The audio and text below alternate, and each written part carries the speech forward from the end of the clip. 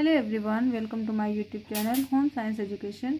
आज की वीडियो में शेयर करने जा रही हूँ यूपी बोर्ड क्लास ट्वेल्थ के बच्चों के लिए गृह विज्ञान का जो मॉडल पेपर है वो, ठीक है? अभी एग्ज़ाम यूपी बोर्ड का एग्ज़ाम स्टार्ट होने वाला है, जिसमें अभी होम साइंस का एग्ज़ाम नहीं हुआ है। तो जो भी बच्चे होम साइंस एग्ज़ाम देंगे, उनके लिए मैंने जो ये मॉडल पेपर तैयार किया है, ये बहुत ही इसमें इंपॉर्टेंट क्वेश्चन हैं। और ये जो ये आज का जो वीडियो है, इसमें ओनली मैंने बहुविकल्पीय प्रश्न इसमें तैयार किया है, ठीक है? अभी बहुविकल्पीय प्रश्न चल रहा है, इसके दो चार सेट बहुविकल्पीय बनाएँगे, उसके बाद अति लघु उत्तरी, फिर लघु उत्तरी, फिर दीर्घ उत्तरी। तो बहुविकल्पीय जो क्वेश्चन होता है, इसमें जो भी मार्क्स मिलते हैं फुल मार्क्स मिलते हैं। तो आप बहुविकल्पी क्वेश्चन जो भी आते हैं, उसको पूरा आप सटीक आंसर दीजिएगा तो एक भी नंबर आपके कटेंगे नहीं पूरे पूरे मार्क्स आएँगे। तो आइए देखते हैं बहुविकल्पी प्रश्न। पहला प्रश्न है दूध किस कीटाणु के कारण खराब होता है? Option lactobacillus nitrofactor bacillus megatherium ये चार ऑप्शन हैं। तो दूध जो होता है, वो लैक्टोबैसिलस जो होता है, उसके कारण खराब होता है। ठीक है? अगला प्रश्न है, वसा में घुलनशील विटामिन कौन से हैं? वसा में घुलनशील तो वसा में विटामिन जो होते हैं, वो दो तरीके के होते हैं। कुछ होते हैं जो फैट में सॉल्यूबल होते हैं, कुछ जो होते हैं वाटर सॉल्यूबल होते हैं। तो यहाँ पे फैट में सॉल्यूबल विटामिन पूछा जा रहा है तो विटामिन ए, डी, ई, के जो होता है, ये वसा में यानी फैट में सॉल्यूबल विटामिन है। और जल में घुलनशील विटामिन जो है, वो है विटामिन बी और विटामिन सी। नेक्स्ट प्रश्न है, रक्त का थक्का बनाने वाला प्रोटीन है। रक्त को जो क्लॉट करता है, क्लॉट बनाता है ब्लड में वो जो प्रोटीन है, उसका नाम क्या है? चार ऑप्शन दिए हैं, ग्लूटीन, फाइब्रिनोजन, एल्ब्यूमिन, ये ये ये सब ये सभी। तीनों नहीं। इसका करेक्ट आंसर है फाइब्रिनोजन। अगला प्रश्न है, स्वस्थ मनुष्य के, स्वस्थ मनुष्य एक मिनट में कितनी बार सांस लेता है? ऑप्शन दिया है पंद्रह से अठारह बार, पाँच से दस बार, पच्चीस से तीस बार, अनियमित। करेक्ट आंसर क्या है? पंद्रह से अठारह बार। अगला प्रश्न है, कुत्ते के काटने से कौन सा रोग होता है? तो कुत्ते के काटने से कौन सा रोग होता है? ऑप्शन दिया है, रतौंधी, एनीमिया, रेबीज, विकलांगता। तो करेक्ट आंसर क्या है? रेबीज। अगला प्रश्न है, विश्व स्वास्थ्य संगठन का मुख्यालय कहाँ स्थित है? विश्व स्वास्थ्य संगठन का मुख्यालय जो है, कहाँ पे स्थित है? ऑप्शन जो दिए हैं, दिल्ली, मुंबई, जिनेवा, कानपुर। तो करेक्ट आंसर क्या होगा? जिनेवा होगा।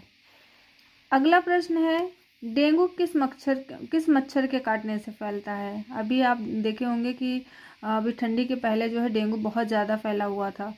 तो जैसे ही ठंड स्टार्ट हुई थी अक्टूबर, नवंबर में तो डेंगू फैलने का कारण क्या है? ये मच्छर से फैलता है और ये कौन से मच्छर से फैलता है? इसमें इस प्रश्न में यही पूछा गया है। ऑप्शन दिया है Aedes aegypti Culex, Anopheles, Mansonia.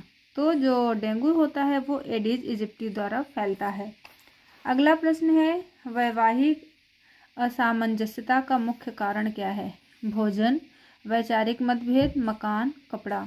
तो करेक्ट ऑप्शन क्या है? वैचारिक मतभेद। अगर विचारों में मतभेद होगा तो वैवाहिक जीवन जो होगा, वो अच्छा अच्छे तरीके से नहीं बीतेगा। उसमें असामंजस्य की स्थिति पैदा हो जाएगी।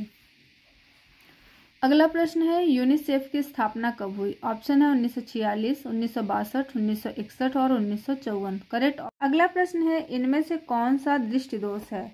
दृष्टि, इसमें देखिए, इन बीमारियों के नाम दिए हुए हैं, जैसे मायोपिया, फाइलेरिया, डायबिटीज़, सभी। तो मायोपिया जो होता है, यह दृष्टि दोष से रिलेटेड होता है, इसलिए दृष्टि दोष से संबंधित क्या है, इसमें मायोपिया है। अगर फ्रेंड्स आप मेरे चैनल पे पहली बार विज़िट कर रहे हैं तो चैनल को सब्सक्राइब कर और अपने फ्रेंड्स के साथ ज़्यादा से ज़्यादा वीडियो को हमारे शेयर करें, जिससे आपको भी बेनिफिट मिल सके और आपके जो भी फ्रेंड्स हैं, जो क्लास ट्वेल्थ में अभी एग्ज़ाम देने जा रहे हैं, उनके लिए भी ये वीडियो फ़ायदेमंद हो। अगला प्रश्न है, चेचक रोग होता है तो जल द्वारा, रक्त द्वारा, वायु द्वारा, भोजन द्वारा तो जो चेचक रोग होता है, यह होता है वायु द्वारा। ठीक है?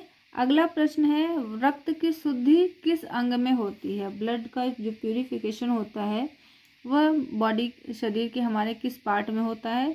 हृदय में वृक में, यकृत में, अग्न्याशय में। तो हृदय इज़ द करेक्ट आंसर अगला प्रश्न है, भोपाल दुर्घटना किसका उदाहरण है? वायु प्रदूषण का, जल प्रदूषण, ध्वनि प्रदूषण, मृदा प्रदूषण। तो वायु प्रदूषण जो है, भोपाल दुर्घटना का का उदाहरण है। भोपाल दुर्घटना जो है वायु प्रदूषण का उदाहरण है। अगला प्रश्न है, अंतर्राष्ट्रीय योग दिवस कब मनाया जाता है? तो अंतर्राष्ट्रीय योग दिवस जो होता है, कब मनाया जाता है? ऑप्शन दिया है, इक्कीस जुलाई, इक्कीस जून, बीस जून, इनमें से कोई नहीं। तो इक्कीस जून जो है, इसका करेक्ट आंसर है। भूकंप को किस पैमाने से नापते हैं? ये सारे क्वेश्चन जो भी हैं, बहुत ही इम्पोर्टेंट है। इसको बिल्कुल भी मिस मत करिएगा, बहुत अच्छे तरीके से आप इसको ध्यान से पढ़िएगा। भूकंप को किस पैमाने से नापते हैं? Newton scale, Richter scale, Everest Everest scale, Archimedes scale. तो इसका करेक्ट आंसर जो होगा वो होगा रिक्टर स्केल। अगला प्रश्न है, विटामिन ए की कमी से कौन सा रोग होता है? तो विटामिन ए की कमी से होने वाला रोग क्या है? एनीमिया है। ठीक है? सूखा रोग, बेरी बेरी, रतौंधी, ये सारे, सॉरी, विटामिन ए की कमी से रतौंधी रोग होता है। मिस्टेक हो गई। यहाँ पे विटामिन ए की कमी से क्या होता है? रतौंधी रोग होता है। ये है ऑब्जेक्टिव क्वेश्चंस अब इसके आगे जो भी मैं और भी वीडियोस बनाऊँगी जिसमें ऑब्जेक्टिव भी रहेंगे और अति लघु उत्तरी लघु उत्तरी मतलब दीर्घ उत्तरी सब टाइप के क्वेश्चन मैं आपको बना करके दूँगी। आप उससे तैयारी करिएगा, आपके बहुत अच्छे मार्क्स आएँगे। वीडियो आपको कैसी लगी? वीडियो पसंद आई यूजफुल लगे तो वीडियो को लाइक करें शेयर करें चैनल में आप पहली बार विज़िट करें तो चैनल को ज़रूर सब्सक्राइब करें। मिलते हैं नेक्स्ट वीडियो में।